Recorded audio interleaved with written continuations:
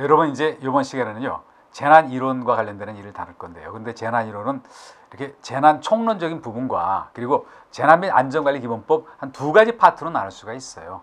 그래서 그러면서 이번 시간에는 재난과 관련되는 어떤 총론적인 얘기를 드리는데요. 그래서 먼저 재난의 어떤 어원이 어떻게 되고 또 재난의 의의가 어떻게 되고 또 재난의 어떤 특징과 어떤 유형으로 가, 바뀌냐. 뭐 이 유형은 외국 학자가 분리한 유형이거든요. 그런 거를 보시고요. 또 그리고 재난을 그냥 가만히 내버려 두는 게 아니라 좀 관리를 해서 재난이 일어날 확률을 좀 줄일 수도 있고 또 피해를 최소화할 수 있는 거 아닙니까? 그래서 그 재난 관리 개념하고요. 또 재난을 4단계로 구분했어요. 그래서 관리하는 단계를요. 예방 대비 대응 복구 요 4단계 의와 또 특징 관련되는 얘기 요런 위주로 요번 시간 우리가 기본적인 공부를 한번 하고 들어갑니다. 먼저 한번 재난의 어원을 한번 여러분과 같이 한번 얘기를 들어볼게요. 그 타이틀을 붙이면요. 재난의 어원인데요. 어원인데 그런데 동양에서 서양에서의 재난의 어원과 동양의 재난을 어원을 보시면요. 아무래도 서양 사람과 동양 사람이 좀 사고의 차이가 있다는 거 한번 볼 수가 있어요. 그래서 구분 한번 해봅니다. 먼저 서양에서의 어원을 봅니다. 서양에서 어원은 뭐냐면요. 우리가 우리가 재난을 영문으로 했을 때 disaster라 그러거든요. 근데 disaster는 합성을 하는 거 아닙니까? dis와 그리고 aster의 합성어예요. 그래서 이걸 disaster라고 하는데요. 근데 여기서 말하는 dis는 뭔가 불일치를 얘기한다는 거죠. 뭐 분리되고 파괴되고 뭐 불일치되는 거, 불일치되고 그리고 여기 aster는 뭐냐면요. 행성, 별을 주로 얘기한다는 거 아닙니까? 그래서 여기 뭐 행성, 뭐 별, 뭐 별이 별이 어, 별이 분리되고 분리되고 이런 걸 얘기하거든요. 별이 어, 불, 어, 분리 또는 파괴, 어, 별 이런 걸 얘기하는데 그래서 한번 보면, 보면요. 별이 불일치되고 파괴된다라고 얘기한 거 아닙니까? 그래서 여러분 한번 보세요. 행성, 별들이 자기 위치를 이탈하고 불일치되고 파괴되면요. 그 여파가 지구에도 물리고 큰 변화가 있을 거 아닙니까? 그러다 보니까 이거를 합쳐가지고 갑작스런, 갑작스런 어떤 불행이라고 얘기를 한다는 거 아닙니까? 우리가 재난을 당하게 되면 일종의 갑작스런 어떤 불행을 다치게 되잖아요. 이제 그리고 그다음에 동양에서의 의를 한번 봅니다. 동양에서의 의를 한번 보면요. 뭐 동양에서 의하면 아무래도 뭐 중국 쪽을 가야 되겠죠. 그래서 중국에서 재난에 대해서 한자로 한번 이렇게 봅니다. 우리가 재난을 한자로 쓰면은 이렇게 되거든요. 여기 이렇게 하고 또 뭐 한자로 쓰면은 이렇게 이렇게 되는데요. 또 이렇게 이렇게 해서 봅니다. 이렇게 해서 한번 보시면요. 여기 뭐 재난을 이렇게 여기 이렇게 봅니다. 뭐 한자를 뭐 잘 안 쓰다 보니까 저도 그러네요. 이렇게 보시면요. 이렇게 하고 그리고 이렇게 쓴다는 거 아닙니까? 그래서 봅니다. 여기 이 제자를 한번 볼게요. 이 제자는 이 제자는 어떤 재앙 제자다. 재앙이다라고 얘기하는 거 아닙니까? 재앙인데요. 재앙인데. 그런데 왜 재앙인가 한번 봅니다. 여기 나온 거는 물수하고 같은 의미를 갖고 있어요. 그러면 물과 불에 의한 게 재난 대부분인 거 아닙니까? 뭐 가뭄, 홍수 그리고 불이었잖아요. 그리고 그 다음에 난자라는 건 어지러울 어지 어려울 난자다. 어려울 난자다. 어려울 난자 이렇게 됐다는 거 아닙니까? 그래서 뭐냐면요.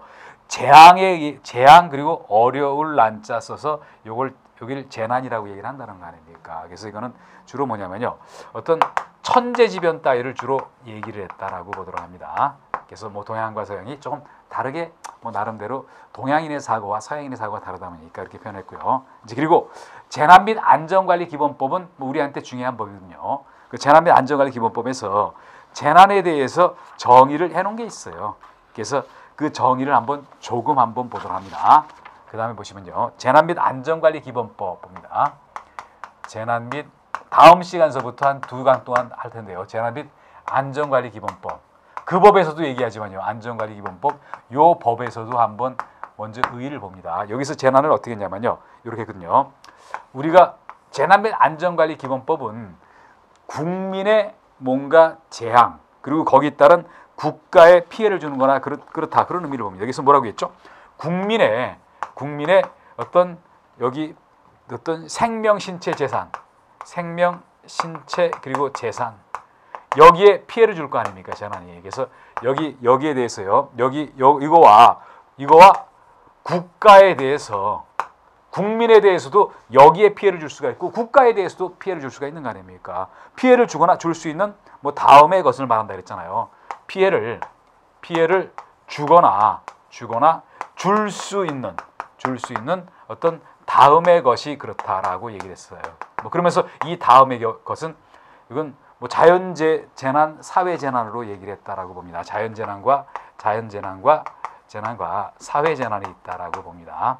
그래서 한번 이렇게 볼게요. 일단 요거를 자세히 보시면요. 피해를 주거나 줄 수 있는 거 그랬으니까 과거, 현재 그리고 미래에 일어날 그런 것까지 재난의 범주로 집어넣었다라고 여러분 봅니다. 이제 그러면서 또 구체적으로 가서 보시면요.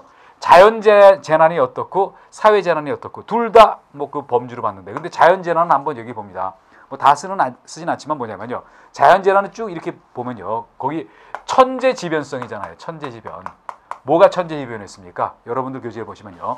태풍, 홍수 다 천재 지변인 거 아닙니까? 그리고 거기 강풍, 풍랑, 해일 뭐 다 그렇게 하면서요. 그러면서 이거 또 이런 이런 거를 갖다가 우리가 자연 재난이 될 그, 그리고 사회 재난을 보면 사회 재난은 잘 보시면요.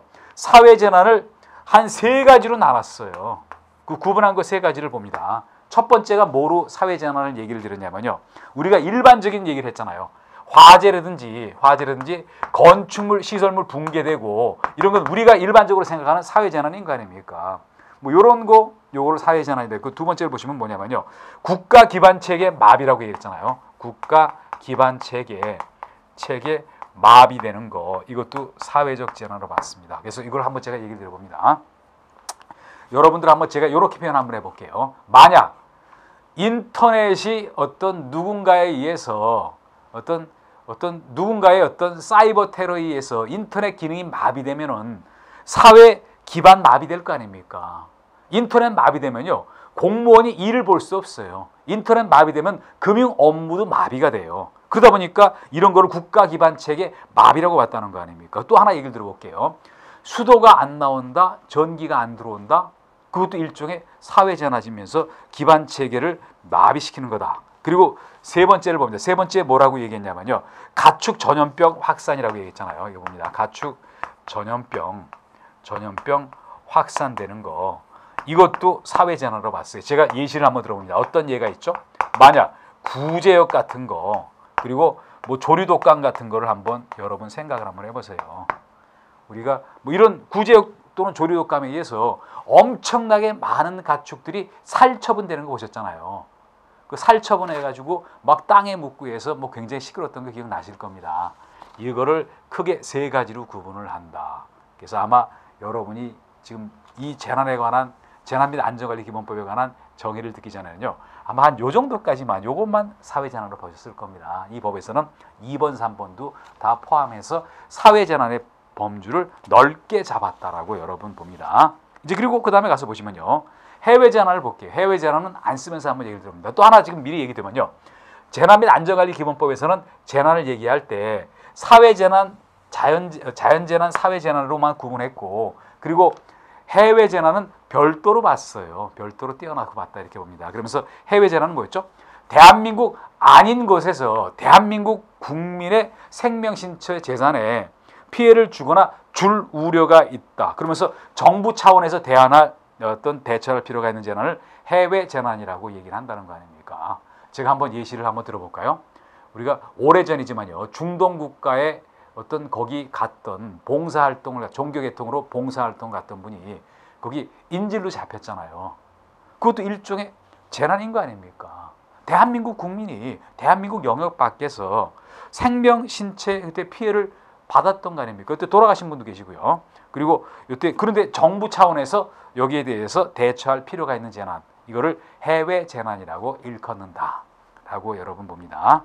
이제 그리고 그 다음에 가서 보시면요, 뭐 사회적 관점 또는 유엔 관점에서의 재난 정의 이런 거는 한번 그냥 넘어가시고요. 그리고 재난의 일반적인 특징이 있었잖아요.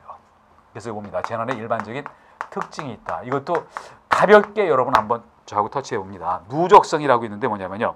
재난이 한번 제가 예를 들어 봅니다. 한 가지만 예를 들어 볼게요. 만약 건물이 붕괴가 된다. 그런데 하루아침에 붕괴되지는 않을 거 아닙니까? 설계도 잘못됐죠. 그리고 시공 과정도 잘못됐죠. 그리고 유지 어떤 사용하면서 유지 관리 과정에서 뭔가 문제를 느꼈다. 그러면 그때 그때 해결했어야 되는데 못 하고 지나간 거 아닙니까? 이런 식으로 누적성이라는 그런 특성을 갖고 있다라고 얘기했고요. 또 뭐냐면요. 재난은 불확실하다.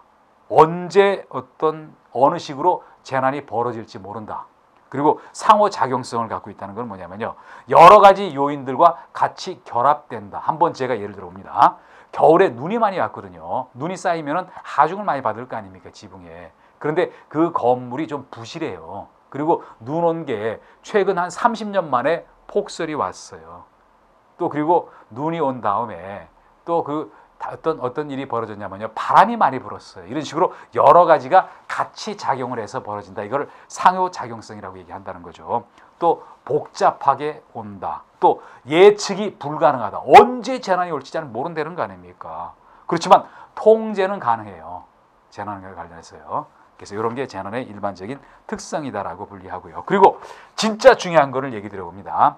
재난의 분류가 나오는데요. 재난의 분류에서는요. 거기 데이비드 존스의 외국 학자지만 재난의 분류와 아네스의 재난의 분류 이 두 가지는 여러분이 좀 정확하게 저하고 같이 봅니다. 그래서 재난의 분류를 얘기할 때는요. 외국 학자 중인 인 아, 데이비드 존스와 아네스의 재난의 분류 이 두 가지를 많이 들어요. 물론 데이비드 존스의 재난의 분류가 아네스의 분류보다 좀 더 정밀하게 분류를 해놨다. 그렇지만 요 분류에 데이비드 존스는 분류를 어떻게 해놨고 그리고 아네스는 어떻게 해놨나 요 정도 내용은 여러분이 정확하게 알아놓으셔야 될 것 같아요. 그래서 한번 봅니다. 그래서 여기는 어떤 외국 학자들에 의한 학자들에 의한요 재난의 분류다. 재난의 분류다. 그러면서 그 양대 학자가 둘이다. 한쪽은 데이비드 존스의 데이비드 존스의 비드 존스에 의한 분류. 다른 하나는 아네스에 의한 분류. 그러면서 뭐 데이비드 존스가 더 재난의 종류를 얘기하면서 더 어떤 어, 많이 분류를 했다. 그래서 한번 봅니다. 데이비드 존스는 어떻게 분류했냐면요. 크게 두 가지다. 뭐냐면요. 자연 재난과 아, 세 가지라 세 가지라고 봅니다. 자연 재난과요. 자연 재난과 뭐 이걸 가장 크게 얘기를 했고요. 아네스는 한 요쯤 가서 써봅니다. 그리고 뭐냐면요. 또 준 자연 재난, 준 자연 재난, 그리고 또 사회 인적 재난, 인적 재난, 세 가지로 구분했다라고 봅니다. 인적 재난 세 가지로 분류하면서 한번 봅니다. 그러면서 세부적인 걸 보면요. 자연 재난은 또 구분해 놨어요. 자연 재난을 구분하면서 뭐라고 얘기했냐면요. 지구 물리학적 재난과 생물학적 재난. 지구 물리학적 물리학적 물리학적 재난과 그리고 생물학적 재난으로 분리를 했다는 거죠. 생물학적 학적 재난으로 분리했다. 뭐 아네스의 분류도 조금 이따 보시겠지만 아네스의 분류보다 훨씬 많이 분류했다. 그러면서 지구 물리학적 재난은요. 어떤 지구 지질 그리고 기상 이런 것과 관련 있는 거 아닙니까? 그래서 지질적 재난, 지질적 재난도 분류하고요. 또 하나 뭐를 했냐면요. 지형적 기상 재난, 지형적 재난과요. 지형적 재난과 그리고 기상 재난 이렇게 분류했다라고 봅니다. 그러면서 한번 볼게요. 지질적 재난에 뭐가 있었죠? 지진과 화산, 지진과 화산 폭발 따위 이거는 뭐냐면요 지구 물리학적 재난이면서 동시에 지질과 관련되어 있는 거 아닙니까? 뭐 그리고 그 다음에 봅니다 지형적 재난을 보면 산사태와 산사태와 그리고 그 다음에 나왔던 게 염수토양이라고 얘기했잖아요 염수토양 염수토양은 뭐냐면요 염분을 많이 함유하고 있는 토양이다라고 봅니다. 그리고 그 다음에 기상재난은 되게 많은 거 아닙니까? 여기는 뭐 태풍이 일어난다, 뭐 안개, 눈, 그리고 뭐 이상 가뭄, 토네이도 같은 거. 그리고 생물학적 재난을 가서 봅니다. 뭐이 뭐라고 했죠? 이거는 뭐냐면요. 세균 질병 같은 거, 세균성 질병 같은 거. 이거는 세균성 질병이라든지 이런 거는 지구 물리학적 재난과는 아무 상관이 없는 거 아닙니까? 그리고 뭐 유독식품 같은 거, 유독식품 이런 것도 그렇다라고 얘기를 드렸고요. 그리고 준자연 재난을 가서 봅니다. 뭐냐면요. 한번 이게 왜 준자연 재난인가 보세요. 자연적인 것과 인위적인 게 같이 겹쳤어요. 왜 그랬죠? 한번 처음에 봅니다. 스모그 현상이 일어났죠. 스모그 현상. 스모그 현상은 왜 그렇습니까? 어떤 안개 현상과 공해가 합성이 된 거예요. 그러다 보니까 순수한 자연 재난은 아니고 인적 재난과 자연 재난을 합해 놓은 거다. 그러다 보니까 준 자연 재난이다. 또 지구 온난화 현상을 한번 얘기를 드려봅니다. 온난화 현상은 어땠죠? 어떤 사람이 여기 일정 부분 기여를 했잖아요. 사막화 현상도 마찬가지인 거 아닙니까? 그래서 이런 얘기고요. 그리고 인적 재난을 보면은 대표적인 게 폭동 일어나는 게 그렇다. 그리고 교통사 뭐 또 교통사고 따위가 그렇다라고 얘기를 했군요. 그래서 이게 데이비드 존스의 분류였다. 그런데 그 다음에 가서 봅니다. 그 다음에 아네스의 분류를 볼게요. 아네스의 분류는 데이비드 존스의 분류보다 조금 간소화돼 있어요. 그래서 그 다음에 아네스의 분류를 봅니다.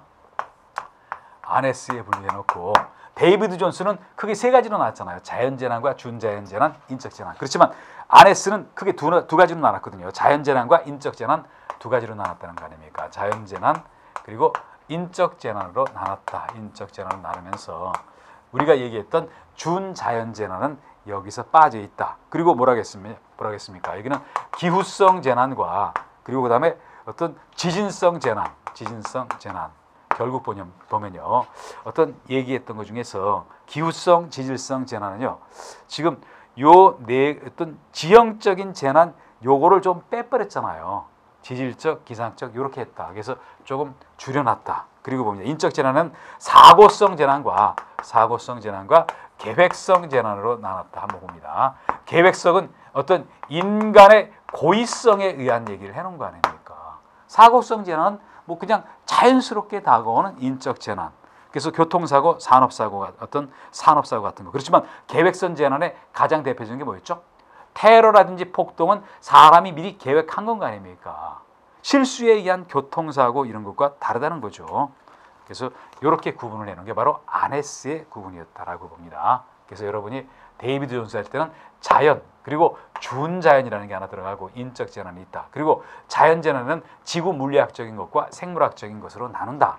그리고 아네스의 경우는 준자연 재난 없이 자연 재난과 인적 재난을 나눴고 기후성과 지진성 그리고 사고였냐 아니면 우발적으로 벌어진 일이냐 아니면 미리 기획된 것이었나 이렇게 구분을 했다라고 여러분도 정리를 한번 해봅니다. 그래서 여기 나온 거는 여러분이 조금 복잡하시더라도요. 한번 몇 번 보셔가지고 정확하게 정리를 한번 해보시길 바랍니다. 이제 그리고 재난 관리와 관련되는 게 나왔잖아요. 재난 관리는 뭐냐면요. 결국 이거는 이렇게 얘기를 드려봅니다. 재난 관리의 정의하고 나왔잖아요. 그래서 여기 재난 관리의 관리의 정의. 재난을 방치하는 게 아니라 뭔가 거기에 어떤 대비하는 효율적으로 어떤 대비하는 것을 관리다. 그러면서 거기 뭐라고 했습니까? 결국 이렇게 얘기했잖아요. 우리가 재난에 대해서 피해를 어떤 무력화, 완전히 제로로 만들기는 거의 불가능하다고 볼 수가 있어요. 그러다 보니까 뭐라겠죠? 재난의 피해를 재난의 피해를 최소화한다라고 얘기를 한건 아닙니까? 최소화. 최소화. 여기서 의미를 한번 얘기해 봅니다.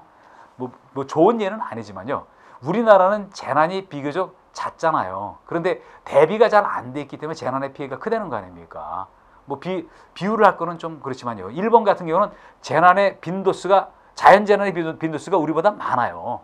그렇지만 재난에 따른 피해는 우리보다 적다는 거 아닙니까? 결국 어떤 재난의 피해를 최소화하기 때문이다. 그런데 이 최소화하기 위해서 뭘 한다는 거죠? 재난에 대해서 예방 4단계가 나오는 거 아닙니까? 대비 그리고 대응 그리고 원상태로 만들어 놓은 복구 이렇게 하기 위한 모든 활동을 모든 활동을 우리가 재난 관리라고 얘기한다는 거죠. 재난을 방치하는 게 아니라 재난의 피해를 최소화하기 위해서 예방도 하고 거기 대비도 해서 어떤 관련되는 체계를 만들어 놓고 대응 실제 어, 현장 가서 부닥치는 거 그리고 그 다음에 어떤 피해가 봤을 때 원상태로 어, 피해 이전으로 돌려놓는 복구 이런 네 단계에 관련되는 모든 활동을 재난 관리라고 칭한다는 거 아닙니까? 뭐 그런 정도 얘기였었고요. 이제 그리고 그 다음에 가서 봅니다. 재난 관리의 원칙과 관련되는 몇 가지 얘기를 언급을 했잖아요. 물론 여기 재난 관리 원칙은요. 이건 기본적으로 보시기만 하셔도 그냥 이해가 금방 되실 만한 그런 일들이에요. 그래서 제가 한번 예를 들어봅니다. 한번 볼게요. 뭐라고 했죠? 사전에 대비하는 게 원칙이다. 왜? 사고 난 다음에 하는 게 아니라 재난 날만 날만한 일들이 어떤 눈에 보이는 거 아닙니까? 어떤 홍수, 가뭄, 뭐 어떤 산사태, 화재 같은 거 미리 대비하고요. 그리고 현장 중심으로 한다. 재난은 탁상에 앉아가지고 따지는 게 아니라 현장 가서 한번 확인해 봐야 될 거 아닙니까? 그리고 지휘 통일의 원칙은 뭐냐면요. 여기서도 지시하고 저기서도 지시하면 엉망이 돼버린다. 그러다 보니까 지휘 통일의 원칙. 그리고 정보 공유 원칙은 뭐냐면요. 재난과 관련되는 정부가 정보가 여기도 있고 저기도 있다. 이 행정기관 저 행정기관이 있다. 그러면 서로 갖고 있는 재난의 정보를 어떤 공유해서 효율적으로 대처해야지. 내가 갖고 있는 정보 가만히 나만 알고 있고 다른 기관에 안 알려준다. 그런 문제가 있을 거 아닙니까? 그리고 서로 협력하는 원칙이다. 뭐 이건 너무 당연한 얘기였잖아요. 그래서 이건 한번 그냥 넘어가고요. 이제 그리고 진짜 중요한 건 뭐냐면요. 재난 관리 방 어떤 방식 형태 두 가지 분산 관리 방식과 통합 관리 방식은요. 여기서는 시험에 출제가 될 만한 가능성이 있는 지역이에요. 그래서 여기는 더 자세히 한번 봅니다. 그래서 재난 관리 방식 가지고는요. 그동안 말들이 많았었잖아요. 제가 한번 예를 들어 봅니다. 뭐 입에 꺼내기도 그렇지만요. 뭐 과거에 지난 일이지만요. 지난이지만 그 세월호 사건 났을 때 재난 관리 방식에 문제가 있다고 많이 얘기가 있었잖아요. 왜 그러냐면요. 재난 관리를 어떤 컨트롤 타워에서 통합적으로 운영하는 게 아니라 여기서 하고 저기서 하다 보니까 어떤 효율적인 지휘 계통 체계도 없고 우왕좌왕했다는 거 아닙니까? 사실 그러다 보니까 뭐 그 방식의 중요성이 대두가 됐어요. 그래서 재난 관리 방식은 분리 분산 관리 방식과 통합 관리 방식이 있다. 교재에 나와 있는 의미를 얘기 드리기 전에 한번 예시를 한번 제가 들어봅니다. 그래서 뭐 재난 관리 방식이라고 나왔죠? 재난 관리 방식이다 그래 놓고요. 재난 관리 방식이 있다. 그러면서 두 가지를 한번 제가 예를 들어 봅니다. 먼저 뭐였죠? 분산 관리 방식. 분산 관리 방식이 있고 그리고 어떤 한 군데서 모아 가지고 하는 통합 관리 방식이 있다. 두 가지를 봅니다. 통합 관리 방식이 있다. 관리 방식이 있는데 한번 이렇게 한번 예를 들어 볼게요. 어떻게 예를 들을 수가 있냐면요. 여기가 어떤 재난 관리 기관이라고 볼게요. 기관. A라는 기관도 있고 B도 있고 C도 있고 D도 있고 뭐 이렇게 있다고 봅니다. 뭐 예를 들면요. 뭐 시군구도 있고 시도도 있고 또 군도 있고 경찰도 있고 또 그리고 뭐 중앙대책 뭐 재난안전대책본부도 있고 또 뭐 총리실도 있고 막 있다고 볼게요. 그래서 이렇게 있고 그리고 여기 재난의 어떤 재난의 종류라고 봅니다. 종류가 이렇게 있을 때 뭐 A라는 재난, B라는 재난, C라는 재난 뭐 이렇게 있을 거 아닙니까? 근데 이거를 막 여기서도 다르고 여기서도 다르고 막 분산이 다 돼 있다니까 이런 게 이런 거를 분산 관리 방식이라고 한다는 거 아닙니까? 그 특징이 뭐냐면요. 분산 관리했을 때는 뭔가 획일적이고 통일적인 명령 또 그 재난 복구 체계가 제대로 될 수가 없어요. 그리고 여기 통합 관리 방식을 한번 얘기를 드려봅니다. 통합 방식 방식이 뭐냐면요. A라는 기관이 있다. 그리고 B라는 기관이 있고 C라는 기관이 있고 D라는 기관이 있다. 뭐 재난의 종류가 A, B, C, D 있다. 이렇게 뭐 이렇게 한번 봅니다. 뭐 D 있고 뭐 E, F 이렇게 있다고 봅니다. 때 어떻게 하냐면요. 이쪽으로 통합이 돼 버려요. 어떤 재난이 이쪽으로 통합된다는 거 아닙니까? 한번 봅니다. 그래서 뭐 여기서 일로 가고 이런 식으로 하고 통합된다. 이게 바로 통합 관리 방식이 되는 거 아닙니까? 그래서 이거는 뭔가 획일적이고 통일적으로 명령을 내리기가 어떤 좋다. 뭐 그러면 그래서 이게 뭐 구분이 될 수가 있는데요. 이제 그러면서 한번 양쪽에 차이를 한번 봅니다. 그 양쪽에 이거의 차이를 한번 얘기를 드려볼게요. 이거의 차이를 얘기 드려보면요. 뭐 여러분들 교재를 한번 그 교재 내용에 나와 있는 걸 한번 보시면요. 양쪽의 차이와 관련되는 얘기는요. 여러분들 교재를 보시면요. 교재를 보시면은 거기 244페이지에 나와 있어요. 여러분 교재 244페이지에 나와 있다라고 봅니다. 그러면서 뭐라고 얘기를 했죠? 뭐 일부 한번 얘기를 드려볼게요. 뭐라고 얘기를 드릴 수가 있냐면요. 한번 봅니다. 어떤 관련 부처의 다수 부처 기관과 관련된다. 한번 봅니다. 여기 이쪽 가서 한번 볼게요. 이쪽 보면요. 이거는 다수 분산 방식 할 때는 다수 관련 부처와 부처와 관련이 된다. 한번 예를 들어 봅니다. 어떤 배가 침몰하는 재난이 발생했다. 그러면요. 그 이 기관, 여기 기관 막 다 나눠 있어. 여기서도 다르고 여기서도 다르고 막 그래 버려요. 그게 바로 다수 관, 부처 관련이라고 얘기를 드리죠. 근데 통합 관리 방식은 뭐죠? 소수 부처 및 기관과 관련된다는 얘기를 한 거 아닙니까? 소수 부처 및 부처 및 기관과 관련된다. 요게 조금 다르다. 왜? 분산이 돼 있으니까 이거는 통합돼 있으니까요. 그리고 두 번째를 봅니다. 뭐라고 했죠? 한번 봅니다. 이거는 소 어떤 어, 부, 여기 분산 관리 방식은 뭐라고 했냐면요. 소관 재난에 대한 관리 책임을 진다. 어떤 어떤 자기가 맞는 소관 재난에 대한 재난에 대한 관리 책임을 진다. 예를 들면 뭐 여기 어떤 해상 사고냐 아니면 화재냐 건물 붕괴냐 해서 소관 업무가 나눠져 있어요. 그렇지만 통합 관리 방식은 뭐, 뭐였죠? 모든 재난에 대한 책임을 진다라고 얘기를 한 거 아닙니까? 모든 재난에 대한 책임을 진다. 그게 대표적인 게 지금 국민안전청구 아닙니까? 이렇게 구분이 되어 있다라고 봅니다. 그리고 정보 전달이 정보 전달이 다원화되어 있다. 여기저기서 정보를 전달한다. 그렇지만 이거는 정보 전달이 일원화가 되어 있다라고 봅니다. 창구가 하나다. 이게 바로 통합 관리 방식이고 지금 우리나라가 어떤 여기 분산 관리 방식이었다가 이쪽으로 지금 일정 부분 바뀌었잖아요. 뭐 그런 얘기가 여기 있다라고 봅니다. 또 그리고 그 다음에 가서 한번 보시면요. 재난관리 장단점 비교를 한번 해봅니다. 어떤 장단점 비교를 한번 해보면요. 장단점 비교를 한번 해보면 요거, 요거 중에서 일부 얘기만 한번 얘기를 드려볼게요. 그래서 한번 보면요. 일부 얘기를 들어보면요. 한번 봅니다. 책임성만 가지고 한번 봅니다. 여기 여기는 분산 관리 방식, 여기는 통합 관리 방식이다. 여러분들 교재에는 다 나와 있거든요. 여러분들 교재 보시면요. 여러분들 교재 내용을 보시면요. 거기 244페이지 양가로 4번에 있는 얘기를 봅니다. 그래서 뭐라고 했죠? 여기 여기 보면요. 여기는 책임 먼저 책임성만 갖고 한번 봅니다. 책임성을 갖고 보면요. 분산 관리 방식은 책임성이 다수 부처의 분산이 나눠져 있다. 그리고 통합 관리 방식은 어떤 여기 뭐라고 되어 있습니까? 여기 어떤 과도한 책임을 부담한다. 왜? 과도한 책임을 부담한다. 한 군데 몰려 있으니까 그렇다는 거 아닙니까? 이렇게 구분이 되어 있고 또 한번 봅니다. 또 활동 범위에 대해서 한번 얘기를 드려볼게요. 활동 범위에 대해서 한번 얘기를 드려보면요.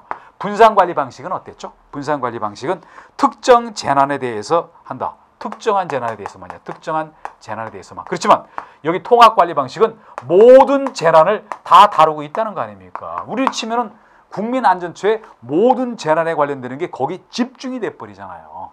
그래서 이렇게 차이가 난다라고 봅니다. 그리고 정보 전달 앞서도 얘기 드렸지만요. 정보 전달이 우리가 분산 관리 방식은 여기서도 정보가 들어가고 저기서도 정보가 들어간다. 그러다 보니까 뭔가 다양화돼 있다. 그렇지만 통합 관리 방식은 한 군데다 모이다 보니까 어떤 단일화가 돼 있다. 이런 식으로 어떤 서로 차이점이 있다는 거 아닙니까? 그래서 결국 어떠냐면요. 우리의 경우는 세월호 사건 나면서 분산 관리 방식에 잘못된 점이 엄청나게 부, 많이 부각이 됐어요. 그러다 보니까 지금 통합 관리 방식은 국민 안전처 신설이 됐다라고 여러분 봅니다. 뭐 그러면서 그 밑에 우리나라 재난 관리 방식이 나왔죠? 한번 봅니다. 이걸 놓고 봤을 때 우리나라의 재난 관리 방식은요. 재난 관리 방식은 방식은 여기에요. 통합 관리 방식 이거로 간다는 거 아닙니까? 통합 관리 방식 방식이다. 과거에는 뭐 이것도 아니고 저것도 아니었었어요. 중앙재난안전대책본부라는 게 있었지만 중앙 중앙재난안전대책본부는 주로 자연재난 쪽으로 집중이 됐었다는 거 아닙니까? 그리고 큰 사건이 발생했을 때 제대로 역할을 담당을 못했잖아요.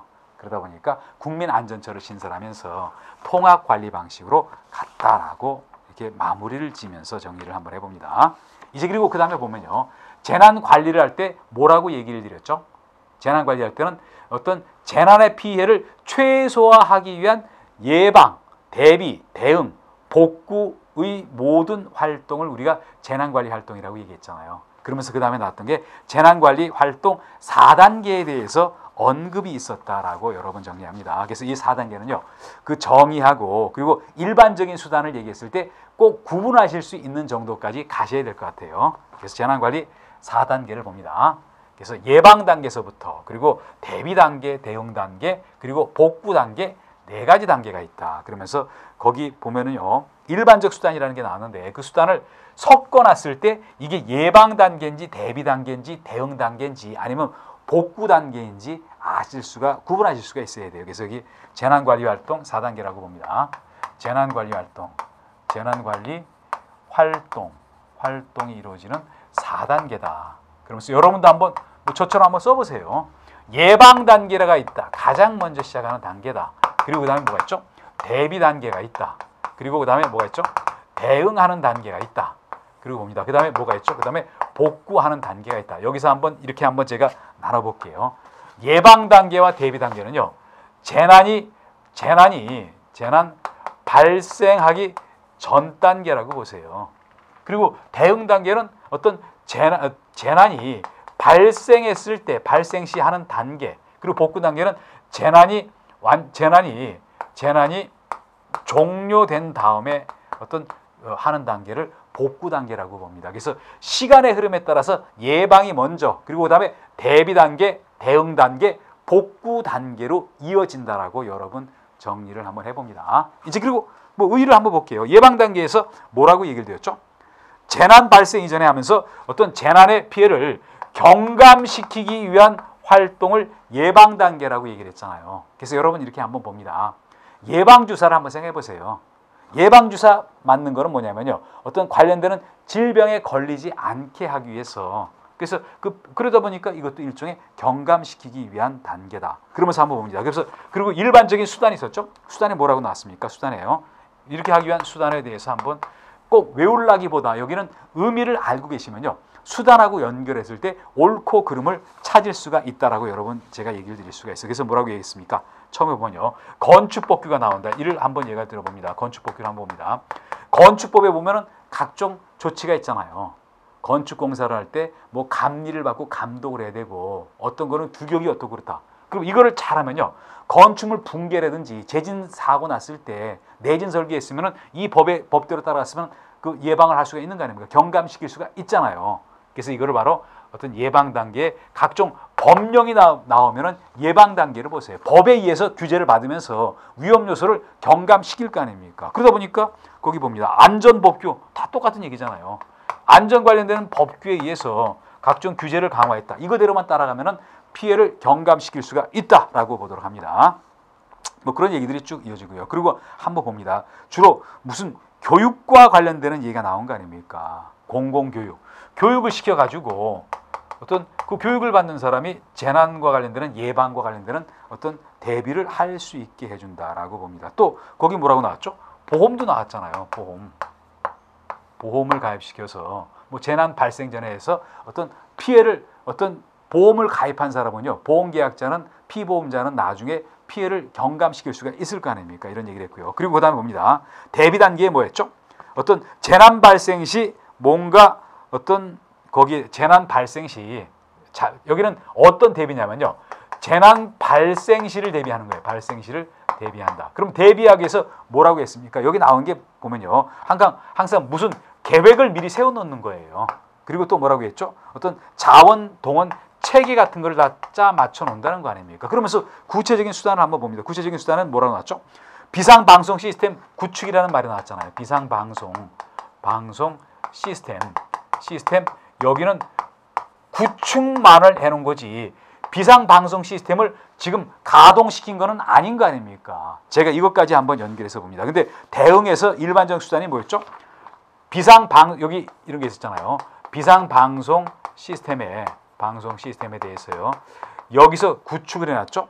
여기서는 그 비, 비상 방송 시스템에 대해서 어떤 여기에 대해서 가동을 시키는 거는 실제 일 났을 때 대응 부딪히는 거 아닙니까? 그래서 비상 방송 시스템 구축은 대비요. 비상 방송 시스템 가동은 대응 시 벌어지는 일이다라고 여러분 정리합니다. 또 그리고 대비에 여러분 뭐가 나왔습니까? 어떤 무엇 무엇과 관련되는 교육 훈련, 연습 이런 게 나왔잖아요. 그냥 일정한 전반적인 공공교육에 있을 때는 예방이었죠. 뭔가 여기 구체적인 교육이 나온 거 아닙니까? 그래서 그 다음에 나왔던 봅니다. 대응 요원들의 교육 훈련, 훈련. 왜? 나중에 사고 났을 때 대비하기 위해서 미리 교육 훈련을 시킨다. 또 뭐 관련되는 뭐 각종의 계획이 그렇다는 얘기를 한거 아닙니까? 그러면서 대응을 봅니다. 대응에 거기 어떤 일반적인 수단이 또 뭐가 있었죠? 한번 봅니다. 여기 보시면요. 거기 대응 자원에 대응 자원에 대응할 수 있는 자원에 동원 실제 투입하기 위해서 데리고 온다는 거 아닙니까? 그리고 한번 봅니다. 긴급 대피, 긴급 대피를 볼게요. 대비하는 게 아니라 일정한 사안에서 피하는 거 아닙니까? 그러다 보니까 대응 단계다라고 봅니다. 그리고 복구 단계는 뭐였죠? 어떤 피해가 발생하기 전에 피해가 어, 재난이 종료된 다음에 피해 발생 전의 상태로 전의 상태로 이거를 회복시켜 놓는 거, 원상 회복시켜 놓는 걸 복구라고 얘기를 해요. 그러면서 그 복구 단계를 뭐라고 했죠? 일반적인 수단에 보시면요. 거기 뭐 피해를 평가하고 장애물 제거하고 이런 게 나온 거 아닙니까? 피해를 평가하고 그리고 장애물 따위를 제거하고 이런 어, 따위를 우리가 복구라고 한다라고 봅니다. 장애물 따위를 제거하고요. 그래서 여기 다시 얘기 들면요. 예방 대비 대응 복구를 얘기했을 때 구체적인 수단을 가지고 놓고 이게 예방이냐 대비냐 대응이냐 이런 거 가지고 거짓말하는 문제가 그동안 출제가 됐던 그런 내용들이었어요. 그래서 여기 뭐 복구까지 얘기를 드리고요. 이제 그리고 그다음에 봅니다. 재해 발생과 관련해서 하인리의 도미노 이론도 있고 또 그리고 그 다음에 보시면요 버드의 신도미노 이론도 있고 몇 가지 이론들이 있잖아요. 이런 이론들은 한 번씩 가끔 이렇게 조금 던졌던 그런 이론들이다. 그래서 이 이론들에 대한 얘기 조금 몇 가지를 봅니다. 그래서 먼저 하인리의 고전적 도미노 이론과 그리고 버드의 신도미노 이론은요 서로 비교해 볼 필요가 있어요. 그래서 두 가지를 먼저 비교해서 한번 보신 다음에 다음 얘기를 들어갈게요. 여러분들 도미노 게임이라는 거 많이 보셨잖아요. 뭐냐면요 도미노 게임은 하나가 넘어지면 연쇄적으로 다른 게 막 넘어지는 거 그걸 우리가 도미노 게임이라고 얘기를 한거 아닙니까? 그래서 뭐냐면요 뭔가 어떤 일정한 사안들이 어떤 문제가 생겼을 때 그게 넘어지는 것처럼 하면서 도미노 게임처럼 넘어지는 것처럼 하면서 사고가 발생하고 그거에 따른 재해가 발생한다. 그래서 여기 어떤 하인리히의 도미노 이론 그리고 버드의 신도미노 이론이 나온 거예요. 그래서 이겁니다. 뭐 두 가지를 비교해 볼게요. 여기 도미노 이론인데요. 도미노 이론인데 이론에 대해서 보면 하인리히의 도미노 이론이 있고 버드의 도미노 이론이 있어요. 물론 하인리가 먼저 제기했던 제시했던 이론이고 그 이거를 보완한 게 버드의 도미노 이론이에요. 그래서 좀 얘기를 들어보면요. 하인리는 독일계 미국인이면서 보험회사에서 근무했던 사람이에요. 그러면서 하인리는 보험회사에서 근무하다 보니까 각종 보험금 지급과 관련해서 사고와 관련되는 걸 현장 가서 많이 연구를 했다는 거죠. 그래서 나왔던 게 뭐냐면요. 이렇다는 거 아닙니까? 여기 5단계로 구분이 돼 있어요. 다섯 단계로 구분돼서 하나가 넘어지면 그 다음에 또 하나가 나오고 또 그 다음에 세, 세 번째, 네 번째, 다섯 번째가 나온다는 거 아닙니까? 여기서 한번 얘기를 들어봅니다. 먼저 뭐라고 나왔죠? 선천적 결함이라고 얘기했잖아요. 선천적 결함이 있다. 이거를 유전적인 요소라고 하는 거 아닙니까? 그래서 예를 한번 들어볼게요. 개인적으로 사고 잘 만한 어떤 품성이나 이런 걸 가진 사람이 있잖아요. 그러면 첫 번째 도미노 막대기가 쓰러진 거예요. 그 두 번째 봅니다. 두 번째 뭐라 했죠?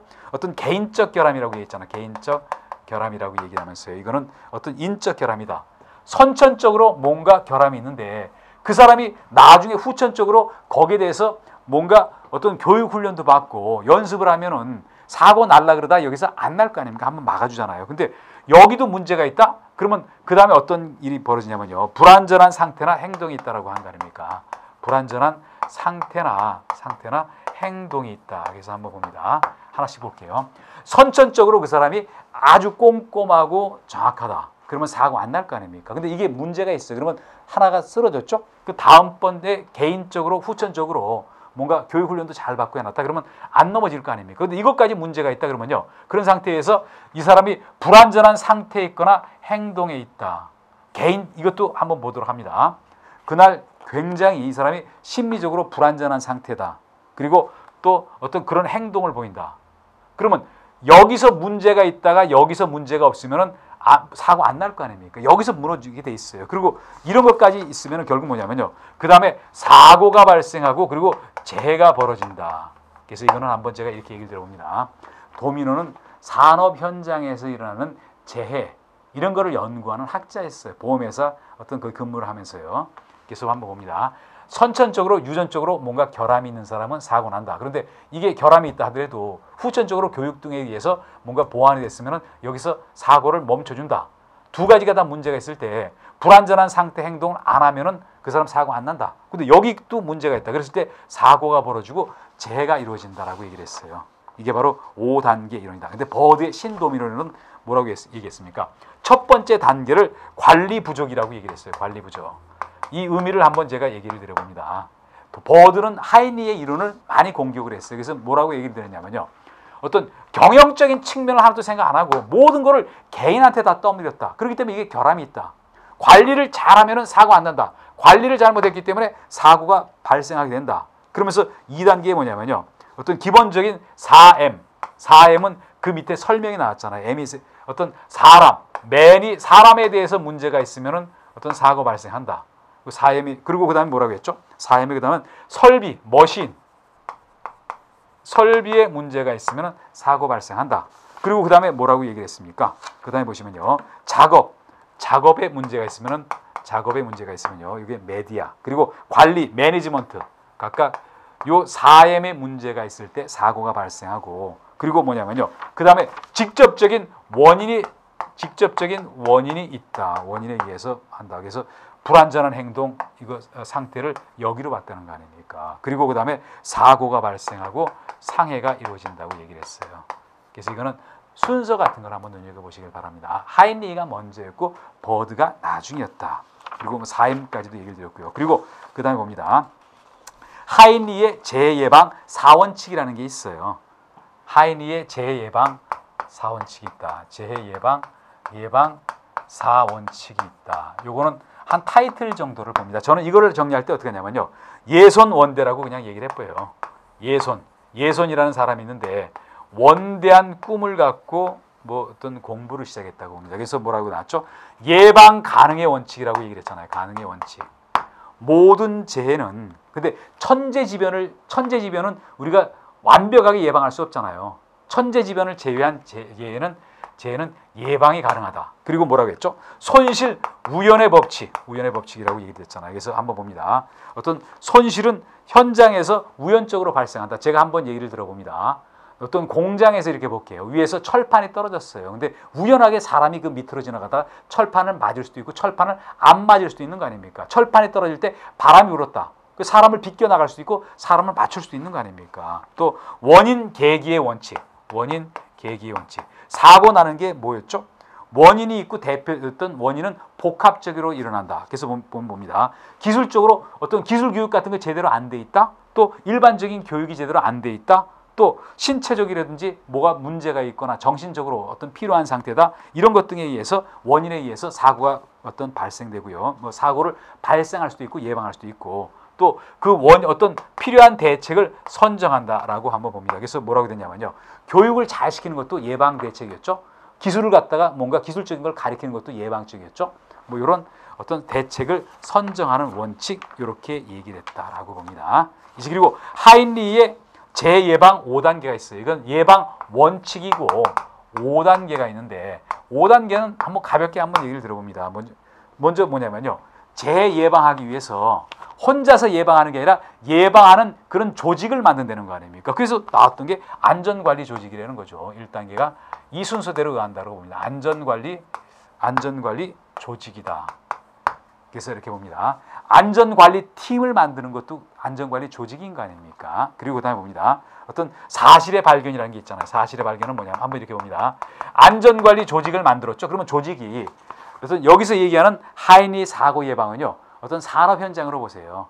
공장의 곳곳을 다니면서 위험 요소가 있나 없나 사실을 발견한다. 한 군데 가보니까 뭐냐면요. 프레스 작업을 하는데 사람들이 졸고 있다.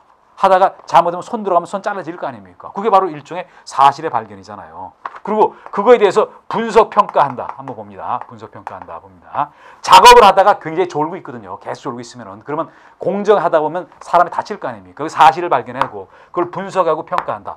왜 이 사람이 잠을 잠을 자는 건지 또 그리고 이 사람이 작업할 때 어떻게 위험 요소가 있는지 분석 평가하고 거기에 대한 구체적인 대책, 시정 방법을 선정한다. 시정 방법을 선정한다. 선정해서 선정해서 교육을 철저하게 시킨다. 그리고 어떤 작업 양이 많으니까 잠을 자는 거니까 너무 작업 양이 많지 않게 한다. 선정하고 그리고 이거를 구체적으로 적용한다는 거 아닙니까? 요게 하인리의 어떤 재예방 5 다섯 가지 단계였어요. 이거는 원칙을 예시한 거 아닙니까? 그래서 여기 나오는 제가 앞에서부터 얘기 드렸던 거는요. 하인리 버드의 도미노 이론, 또 하인리와 또 하이니의 제2예방 사원칙과 5단계는요. 이거는 산업안전공학에서 나왔던 이론들이에요. 그런데 거기는 벌써 100여 년 전부터 이런 이론을 정립시켰기 때문에 이런 얘기가 재난 재해관리 얘기할 때는 꼭 나오는 그런 이론들이다라고 정리를 한번 해봅니다. 물론 문제를 통해서 한 번씩 여기 공부를 한 번씩 일부 해 보시는 그런 내용들이에요. 그래서 이게 문제 여기 이 내용들을 한번 다 확인을 한번 해봤고요. 이제 그리고 여러분 그 다음에 보십니다. 그 다음에 보시면요. 문제를 또 몇 가지를 해놨어요. 물론 이 문제들은 나중에 문제집에 다 나오는 그런 얘기들이에요. 그래서 여기를 한번 봅니다. 여기 마지막에 했던 것만 한번 제가 얘기를 들어볼게요. 뭐 재난관리 방식 이런 거는 빼버리고요. 그리고 여기 봅니다. 여기 7번, 8번 문제를 봅니다. 7번에 하인리의 어떤 그 도미노 이런 순서를 맞게 얘기한 거 뭐냐면 이랬던 거 아닙니까? 유전적으로 선천적인 뭔가 잘못이 있다. 그 사람 굉장히 이렇게 어떤 급한 성격이고 차분하지 못하다.